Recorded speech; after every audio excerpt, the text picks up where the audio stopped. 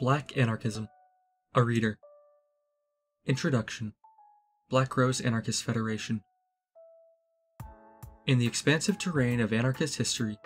few events loom as large as the Spanish Civil War, 1936 to 1939. Countless books, films, songs, pamphlets, buttons, t shirts, and more are rightfully devoted to this transformative struggle for social revolution by Spanish workers and peasants.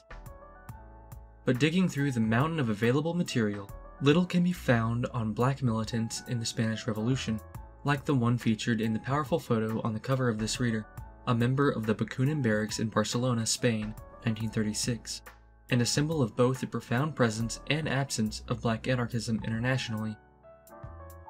For more than 150 years, black anarchists have played a critical role in shaping various struggles around the globe, including mass strikes, national liberation movements, tenant organizing, prisoner solidarity, queer liberation, the formation of autonomous black organizations, and more. Our current political moment is characterized by a global resurgence of black rebellion in response to racialized state violence, criminalization, and dispossession. Black and Afro diasporic communities in places like Britain, South Africa, Brazil, Haiti, Colombia, and the US have initiated popular social movements to resist conditions of social death and forge paths toward liberation on their own terms. Given the anti authoritarian spirit of these struggles, the time is ripe to take a closer look at anarchism more broadly, and black anarchism in particular.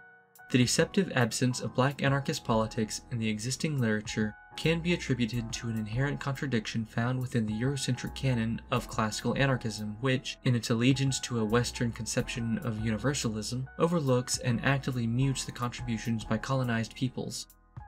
In recent years, black militants and others dedicated to black anarchist politics have gone a long way toward bringing black anarchism into focus through numerous essays, books, interviews, and public talks, many of which are brought together for the first time in this reader.